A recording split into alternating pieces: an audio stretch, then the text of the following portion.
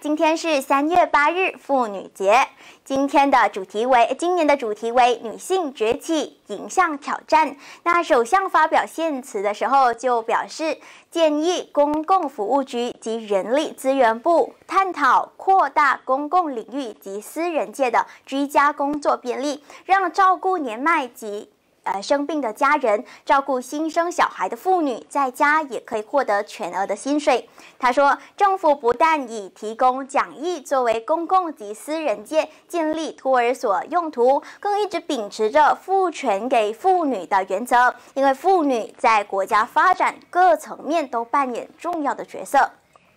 他说，根据研究预测，在我国劳动市场增加百分之三十。女性参与率之后，每年能提升我国国内 GDP 百分之七至十二。他坦言，目前妇女仍被数项课题影响，包括偏见限制了妇女的角色，倾向成为家暴、家庭暴力和职场性骚扰的受害者，还面临工作和家庭的双重负担。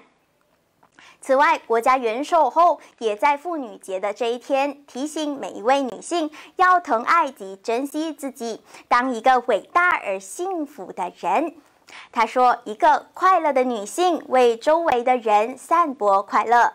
那因此，除了照顾家人，女性更重要的是必须照顾好自己的身心健康。”他认为，尽管新冠疫情带来巨大的挑战，但女性的力量显而易见，与今年的主题“女性崛起迎向迎向挑战”相符。那因为女性们挺身而出，面对挑战。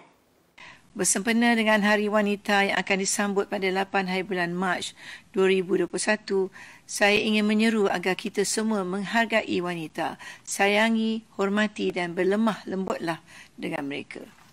Sebagai seorang isteri, ibu, pemaisuri dan wanita pertama negara, saya ingin mengingatkan wanita semua, sayangi dan hargailah diri kita sendiri.